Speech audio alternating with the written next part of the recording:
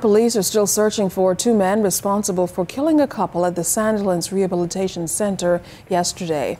The male victim, who is known to police, was taken to the center by his girlfriend for physical therapy after he was shot in August when two gunmen emerged from a black SUV and shot both victims before they attempted to leave the premises. Health Minister of National Security, the Honorable Marvin Dames, says while crime numbers are down, he's deeply saddened by this latest senseless killing.